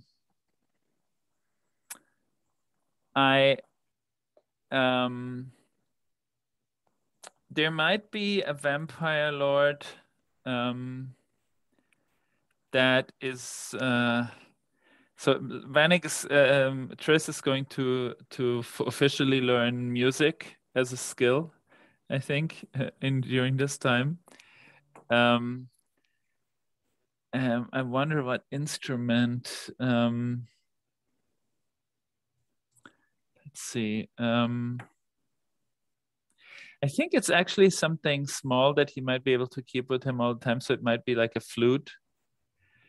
And so I think at a certain point during when one of the few times that he was down there in the Great Hall, he might have seen one of the vampire lords, actually, like maybe a lord from some form of like a, you know, like some form of uh, duke or whatever that actually used to be um, a noble even before he, they became a vampire lord, um, playing a flute, talking to um, them. They, uh, what lord could that be? Um, uh, let's call him Lord Marcus. Okay. And I think they um, they kind of started to talk with Triss and started teaching Triss um, playing the flute. And so I think one of the few times that Triss came down afterwards was always for like once every week for this lesson. Maybe they would sit out in the gardens uh, on a bench or something and uh, play the flute. Um, mm, but and why is he a burden? exactly, why is You have to a like burden? feed him blood or something. Um, I think that actually, mm,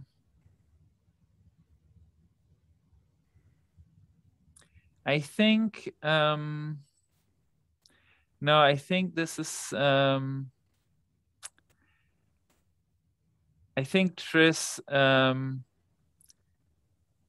plays for Lady Holston now regularly and kind of has to to keep because I think Lady Holston also has this um th- there's this balance uh and I think playing for Lady Holston, playing music keeps kind of her human part kind of present, so she doesn't completely turn into this monstrous demon and devours Triss. So I think that's what he has to always come back and play for her.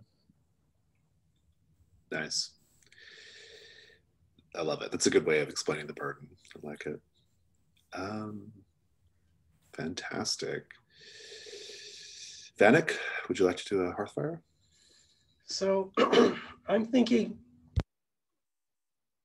I'm thinking uh, two things. Uh, I'm, I do not want to spend too much gold, but uh, mostly because I don't know when we're going to pop out and need gold all of a sudden. But uh, I'm thinking I would like to do the carousing thing to get useful information before beginning an incursion because he really, really uh, does not. He wants to find a way to get rid of that fungus, not mm-hmm. just contain it, but to get rid of it. Mm-hmm. Yeah, I like that a lot. So that's the first thing he's gonna uh, spend spend it for now, and I'll ho- hold it for next time. I'll I'll have something ready. So okay, um, we'll do that. Uh, two, and we'll call that the uh, Oh man. You know what? I don't think I need that ornamental heart from the statue at Holston Hall. The less I'm attached to these creatures, the better in the long, long run. So I will get rid of that heart uh, as my one gold. And then uh, do we actually need to go through the, the checkmark process for carousing? Uh, let's read it. So it's um Oh yeah, yeah, yeah. You have to um you have to uh so Adrian writes down an adjective and I write down a noun and then we reveal it at the same time in chat and that's the name of the bar on the drift that you frequent. Okay. And I'm thinking something spacey, but let's see. Let's see. Um, so I do the adjective, right? You do the adjective, yeah.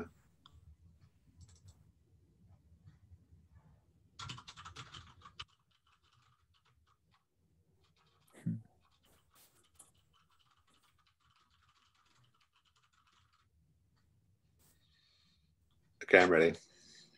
Me too. All right, three, two, one. The pious son.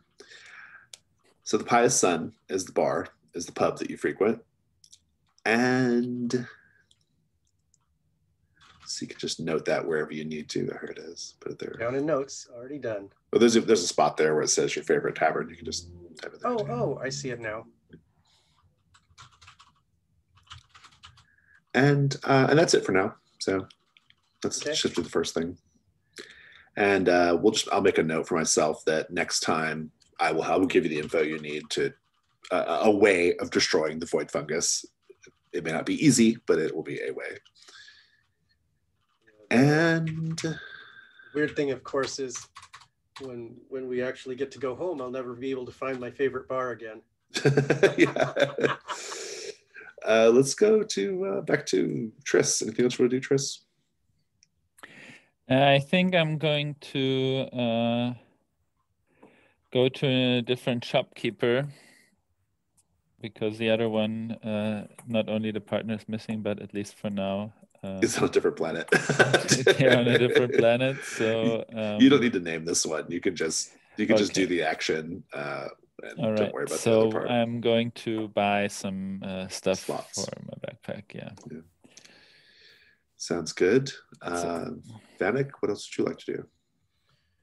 Okay, so I think I'm going to get training in a skill, but it's not training per se.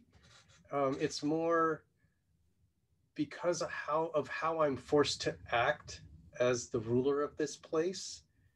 It's skills that I pick up over time, or just my my uh, self-loathing. And the burden is just the burden is just like you got to maintain this place, right? Yeah. So yeah. yeah.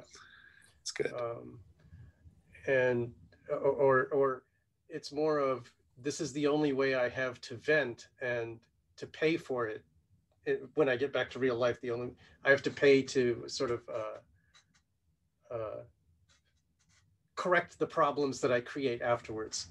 Um, but, but yeah, that's what I'm thinking. Um, and I'm looking at the character options, um, background skills and occupation skills. Uh, is there any difference at all between these? There's not, but if you just do the drop down on the where it says training, that's it lists all of them. Oh, excellent. Um, training.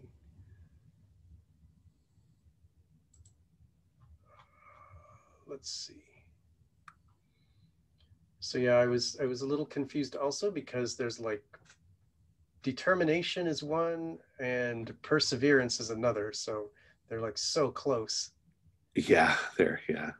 Um, so I'm thinking of something like intimidation. because I don't have any social skills. Um, but is there anything else related to rulership? I'm I'm going through it now. I'm not sure. Um, let's see. Slaughter seems a little extreme. It's a little extreme.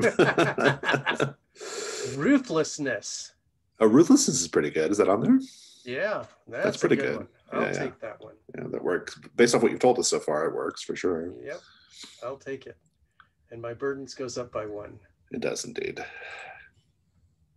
Okay, back to Triss. Is there a box I need to check or anything? Each time I do this, name your mentor, narrate a short montage. You've already, I think you've covered it by Okay, explaining it the way you explained it. So okay. All right, cool. and why it increases your burden yeah um that's that um i think triss might learn another ritual and go burdens are going to be really so high, the Triss. burden. yeah i know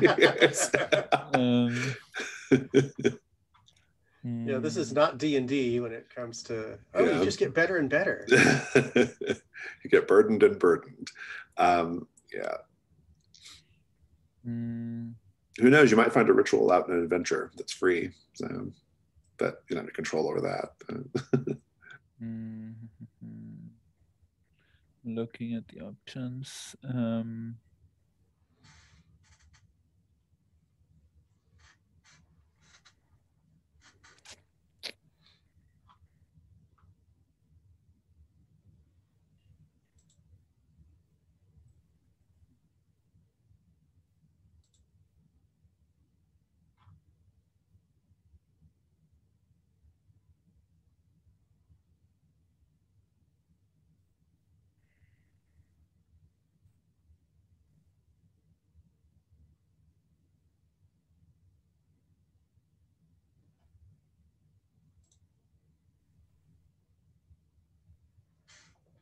I think um,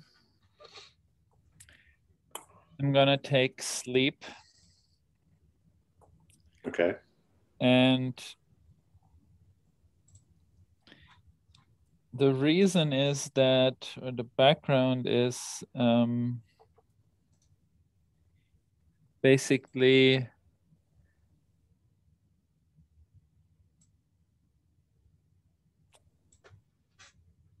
I think that Triss is like I think because of the way all of this relationship with Lady Holston and this I think that Triss has insomnia.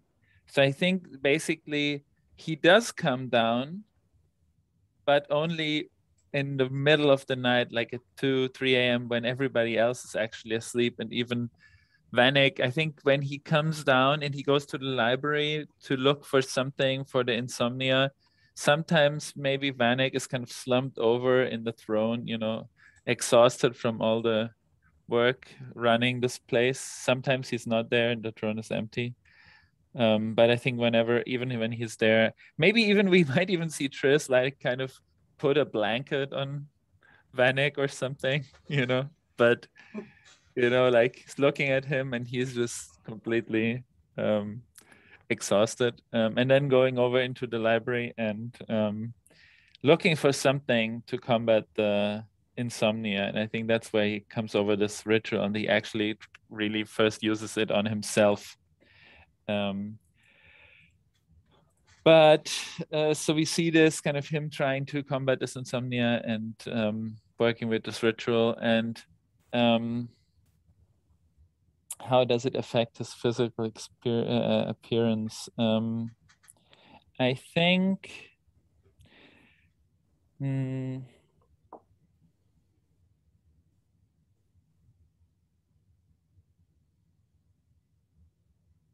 let's see um, do you have an idea? Uh, you always have bedhead or you have heavy lidded eyes. Yeah. yeah, I thought something with the eyes, but I think I already went for the eyes last time uh, with with the other one with the with kind of like a fire, I think, in one of the eyes, um, if I remember correctly. So um, I think the change is not so much in the physical appearance, it's just that it takes Triss a long time to actually wake up when he wakes up, which is kind of dangerous if you're out uh, yeah. somewhere. Very good. That was a good little. I like the little scene of Triss tending to Vanek while Vanek is exhausted. But also because it's funny because you've said that like you otherwise don't have anything to do with each other really during all this time. So um, it's kind of fun. It's interesting. Uh, yeah. Okay. So back to back to Vanek. Um, I have two hunt tokens remaining, and you can't have hunt tokens remaining when you're done. You could just you could just put them in hoard since I didn't really give you guys a chance to spend them. So okay. Uh, the other thing is, uh, what about the book that was in the same room with the planet? Is there anything useful in there? yeah. As... Um, yeah, we can talk about that. The book is. I'm looking it up right now.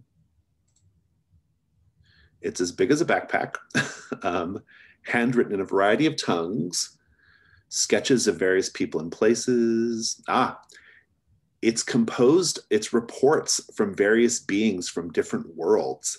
There are instructions on how to talk to them with each of their worlds represented in the planetary model and essentially what it is it's like the blood king's like guide for interacting with alien species basically and like and a sort of rough guide to navigating the space and so that's actually i imagine i like to imagine the book is how you're managing to get anything done at all like as you sort of try to you know because i think for the first few months you had like almost no control over this thing as it was hurtling through space and you eventually figured out how to do that. Then you eventually started to land on worlds and make contact with people and stuff. So.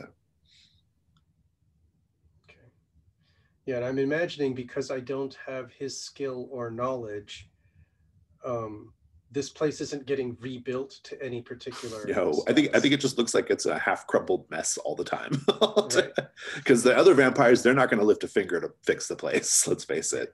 right. Neither is Lady Holston or Sarku. So right and and they were all feeding the blood king so he could maintain this place that's pretty much how it was working yeah yeah. I mean i think th- this this place was an extension of the blood king to some degree and you sitting on the throne especially initially was was the equivalent of just like putting your thumb in the dike right? Like there was you know like right. there was no you know um you at this point you've managed to uh, put up a you know you've managed to remove your thumb and hammer a piece of plywood on the hole right it's right. kind of like where you're at right now yeah it's that it's that it's that putting boards up on the walls to keep the zombies out kind of thing yeah yeah yeah and my my priority is putting boards on the fungus wall and the spider queen wall right everybody exactly. else knows if either of those things get free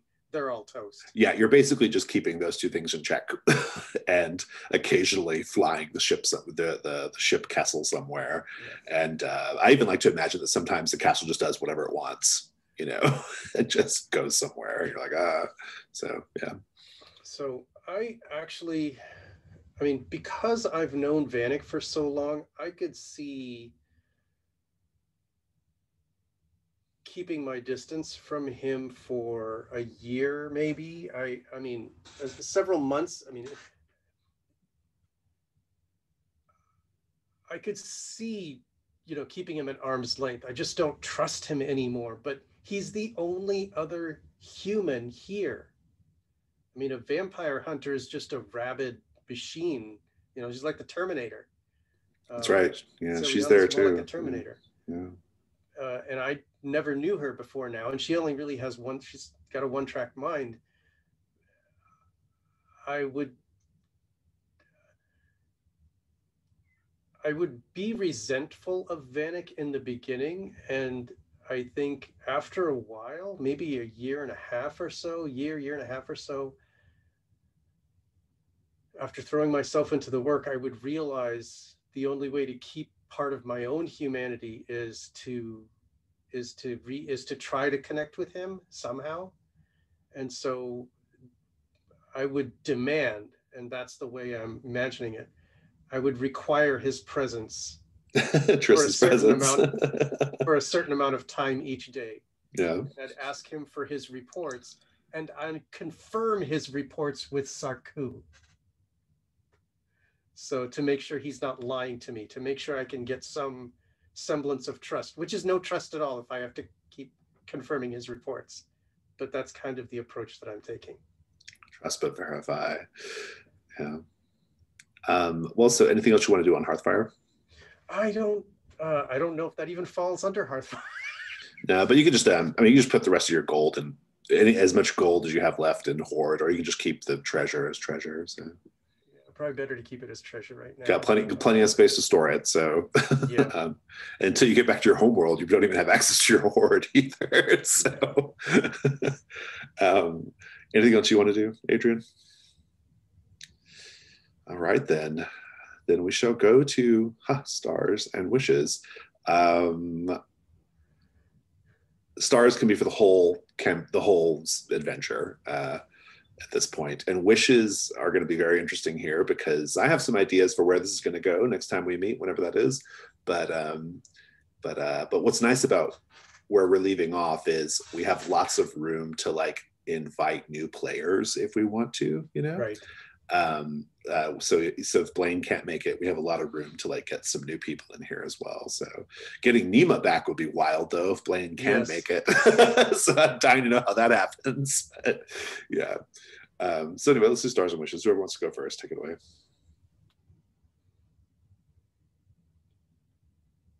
Uh, uh, I think I need to do two. I have two stars. Uh, one is for the uh, really good RP uh, from Triss for just uh, committing to that impulsive nature that he's got. Um, I mean, and and forcing and forcing a party split, which which is so anathema in most games. I think that's definitely worth a star. Uh, and the second star is for the general pacing. Um, I have been in many, many, many games over the years, and the pacing on these adventures is really quite good. Um, so those are my two stars for right now. Uh, star for me, I um, well, star for both of you. Just like really, what I thought was so interesting is you both were like on the knife's edge of being dead, but you were still like doing the dangerous thing, especially at the end, which I thought was really interesting. I thought it was very dangerous for Vanek to just grab the Blood King and uh Triss, Uh, Triss did that. or Triss did, sorry, for Triss to just like grab the Blood King and do immolate and and all like that was a lot, right? And um and even and even just like proceeding past the statues into that room, right? Like that was just a really, really like pushing your luck kind of move. Um and and I think it was big and bold to like put the crown on and sit on the throne. Uh, that's my other star. I, I I love the payoff of that. Like you've had that crown forever, and like it was fun to like sort of have it pay off in a I mean, I, I don't know how your characters feel about it, but as player and as a GM, I really appreciated the sort of drama of what happened because of that. So yeah, uh, so that's those are stars for me. And also, um, even though we've just so far gotten some glimpses of what's going on in the in the in the castle right now, I I can already I already was quite enjoying some of the little details you both started like adding in about like how you run this place and how you live in this place, right? So I think that'll be fun to explore. That's kind of my wish for next time. I want to actually see it in play. So yeah, I mean I I really liked all of that. Um for me I it, in a sense I think at a certain point um I decided, I mean, Triss has this weird relationship with Lady Holston, but I think he just wouldn't leave her there. Think that's what I was going for at the end as well, before the break, um, because I think I, I was, because Triss is also, he's a kind of person that loves, he, that is, yeah, does things without thinking sometimes is, uh, but loves life. So it's not necessarily suicidal or something, but still, but would have gone would would have put his life in, in danger again. Uh, I think I was thinking about going directly for a ritual uh, to bind Sarku, but then I thought, well, I'm I'm going to do like a two step thing. So if if I if if I would have because I I think he would have committed to leaving the place with Lady Holston and leave Vanek um, deal to deal with with whatever um, taking on that place on the throne would have meant. Um, um, yeah, e- even if e- even kind of risking that Triss would have died here, I think that that kind of fit.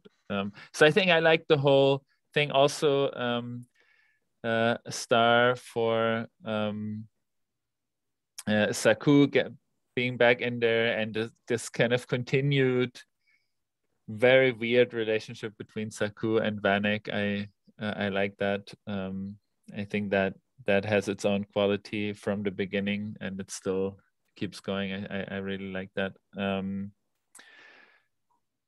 uh, I I liked a star mostly. I think for the whole ending because it really had a cinematic quality to me with the huntress and every uh, and with us kind of hurling down with the lantern or whatever. And you know so all of that felt like a basically it was it seemed kind of clear what was about to happen and kind of these scenes. So we were kind of just we were only kind of watching this movie play out. Uh, that's the feeling i got that i um and it was very lively. I, I like that. Um, another star for the um, the adventure as such i think it's a, it's actually a great thing I, I was listening to the castle amber uh, episode today fear of a black dragon episode and the interesting thing is that this this here is also a haunted house uh, dungeon, right? Kind of. Uh, it's got some of those qualities pieces. for sure. Yeah, yeah set yeah. pieces, and then you can't leave. And so I, when I was listening to this today, I thought, yeah, that's somehow that's it sounds like where we are. Yeah, the stuff is it's actually not as static as I would define per mm. my definition or Tom definition of haunted house dungeon, but it's got it has a lot of those qualities. But it's definitely uh, it's the the it, it's sometimes the rooms are different depending on when you enter them. Like they do have, they do affect each other. Right. So yeah, that's true. No, yeah, that's that's right. That that doesn't apply here, but kind of this, yeah, we all these big set pieces, definitely. the set yeah. pieces, yeah. and yeah, so yeah, yeah. So I really like that. Um, yeah. Um, maybe a wish already because you kind of hinted at that. So I've never done any spelljammer at all. So actually thinking about like if you would if if you would find a like a real spelljammer adventure from like the classical AD&D spelljammers oh, yeah. and then we do that. I, I think that would be a fun idea because I think I'm going to not yeah because I thought this, that this would turn into. So yeah, no, because I've been wanting to do spelljammer for the show and this podcast this game series is to support my podcast in, in part. So yeah i this is a great opportunity to do a spelljammer adventure. Um, i'll tweak it as needed for the campaign obviously but um, but yeah i did i played loads of spelljammer when i was a kid. It was like my favorite like 2e setting. So yeah i'm i'm in my wheelhouse here so. Yeah i'm definitely i'm i'm into that. That's great um, I want to talk just for a second about your comment, uh, Jason, on how bad off we were at the beginning of the adventure in terms of ruin and the risks we were taking. Um, and I, I think the reason that I sort of started pushing, because when you, I'm, I'm pretty conservative. And so in the beginning of an adventure, it's like, I don't really want to get more ruin because then I can't do emergency stuff when I need to. Um, and when we were both at five and we were struggling for you know just one more chance one more bit of cushion to do anything and we picked it up it's like okay at this point we have nothing to lose if we don't take the risks we we're going to die anyway uh, is, is yeah. kind of the feeling that i had. And so that tension is uh, was very lovely.